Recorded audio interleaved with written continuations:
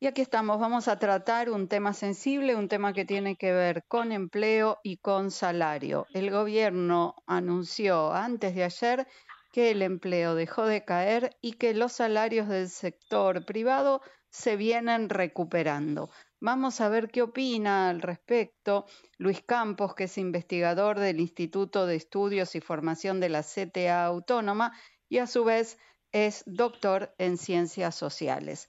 Eh, ¿Qué tal, Luis? Un gusto tenerte aquí en el programa. Soy Laura Sverdlik. Bienvenido. ¿Cómo estás?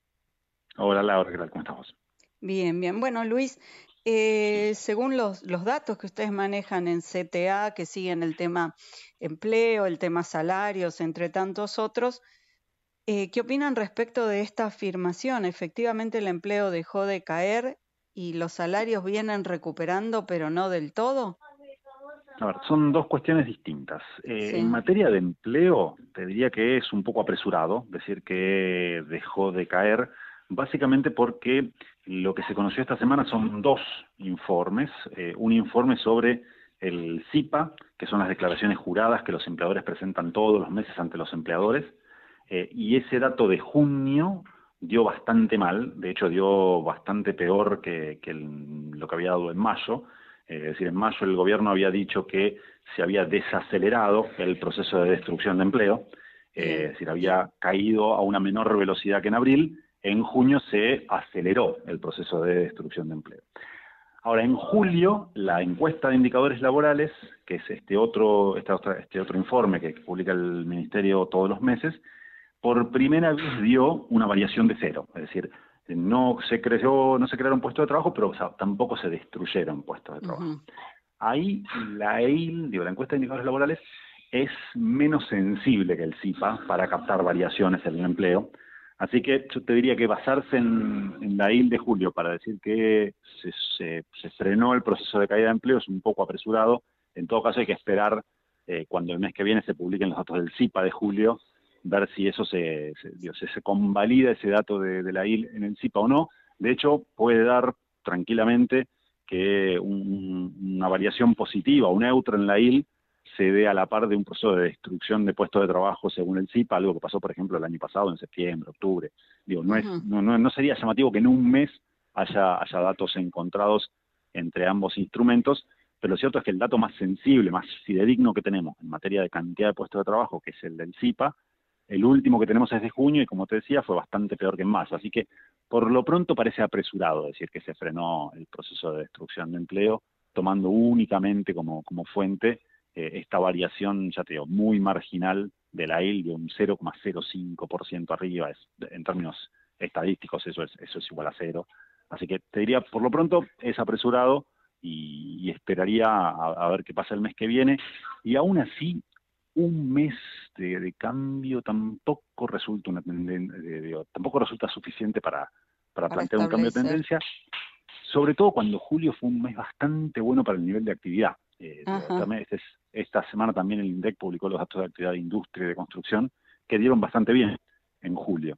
Y que en agosto ahí los primeros los primeros indicadores plantearían que no fue un mes tan bueno como julio Así que por lo pronto ahí yo pondría algunos signos interrogantes y no me apresuraría en sacar conclusiones muy tajantes respecto de un posible cambio de tendencia. El, el dato del CIPA es el que se obtiene con el formulario 931, el de las cargas sociales. es el procesamiento que hace la Secretaría de Trabajo a partir de todas las declaraciones juradas que presentan los empleadores mensualmente eh, sobre los trabajadores en relación de dependencia, con lo cual es un censo, y eso por eso decía que es, bastante más fidedigno que la encuesta de indicadores laborales, que es una encuesta, no releva microestablecimientos, es decir, por ejemplo, releva en la ciudad de Buenos Aires, en, el es la urgencia, Es la urgencia que tiene el gobierno de dar buenas noticias, ¿no? Encima en un tema muy sensible. Me parece que va muy en, esa, eh, muy en esa línea y además ten en cuenta que la semana que viene se va a conocer el dato de, del mercado de trabajo del INDEC del segundo trimestre, eh, mm. y es posible que la tasa de desocupación eh, dé mal, de un crecimiento en la tasa de desocupación, así que eh, hay ahí alguna necesidad de instalar al menos discursivamente. Yo prefiero ahí no hacer proyecciones, lo cierto es que el primer trimestre no había subido tanto como, como se esperaba tal vez, Eh, pero bueno, el 7,7% del primer trimestre es un dato bastante elevado, aún, aún cuando se esperaba que fuera un poco más.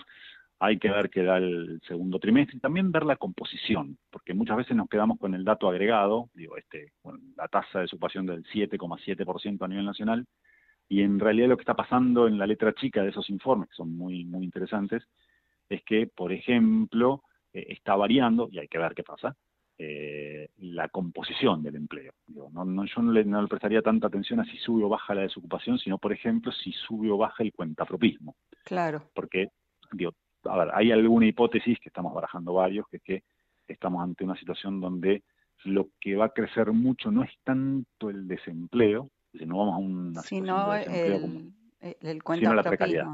Claro, el cuentapropismo, el empleo no registrado, así que hay que también estar atento también mucho a la, letra chica de estos informes que son muy ricos y que no se reducen a un único dato que suele ser el que aparece en la tapa de los medios. Eh, hace un par de horas se conoció el índice de inflación de agosto, 4,2, eh, esto acumula un 2,36,7 en los últimos 12 meses demencial. Este, ¿cómo, ¿Cómo están los salarios respecto de esto? ¿Acompañaron la inflación? Mira, hay dos cosas, te diría. Por un lado, el dato de agosto fue bastante malo. El dato de agosto, el gobierno de hecho esperaba una inflación menor, eh, allá van cuatro meses seguidos con la inflación en torno al 4%, incluso la inflación núcleo subió algunos decimales, así que es un dato bastante malo.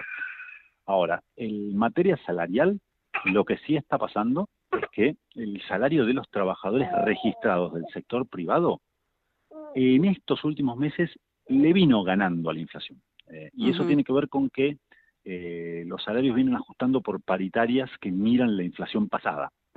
Y como a partir de mayo habíamos tenido un proceso de caída de la inflación relativamente importante, eh, eso se tradujo en un aumento salarial. Yo pensaba en paritarias que miran la inflación de los meses anteriores con una inflación bajando, eso eso genera un efecto inercial que se plasmó en crecimiento de los salarios para los trabajadores registrados del sector privado.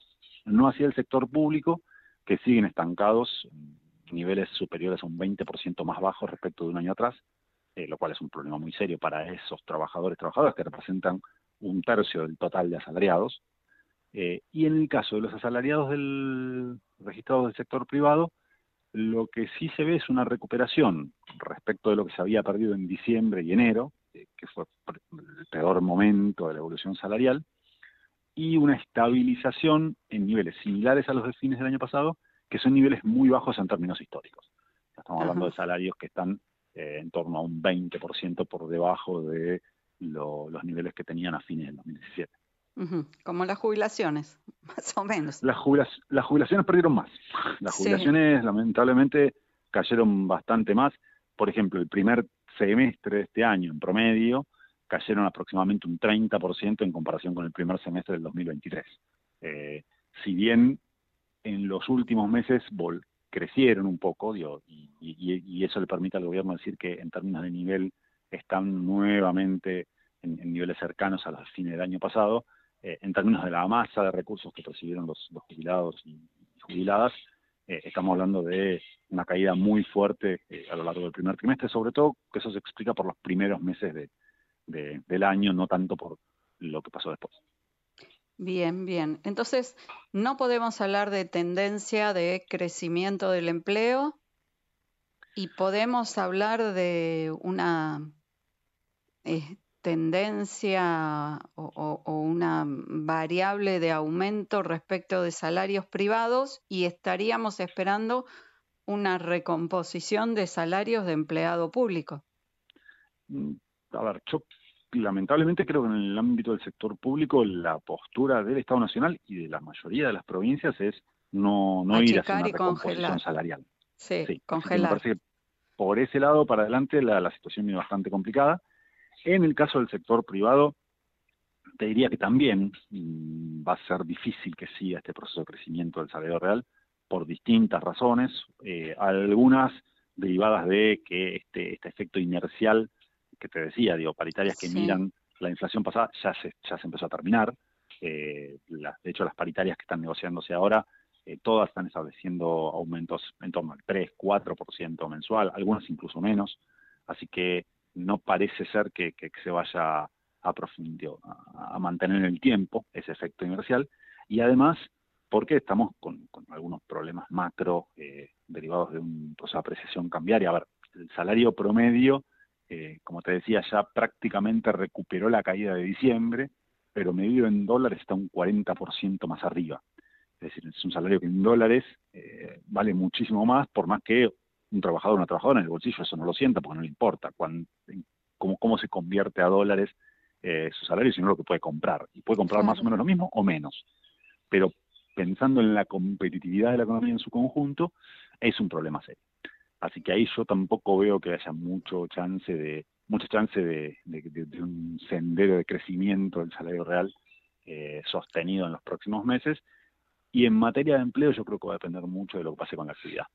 Eh, y ahí el escenario de, la actividad económica no parece ser tampoco, en el corto plazo al menos, un escenario de crecimiento sostenido. Eh, habrá que ver, y esto va a depender mucho, ya, mucho más allá de, la política económica del gobierno y no tanto de la política laboral. Bien, bueno, es una película que vamos a seguir de, cerca. Los próximos capítulos que vayamos conociendo eh, nos va a interesar analizarlos, así que en cualquier momento volveremos a molestarte. ¿Puede ser? Dale, cuando quieran seguimos hablando. Muchas gracias, Luis Campos, por haber estado con nosotros.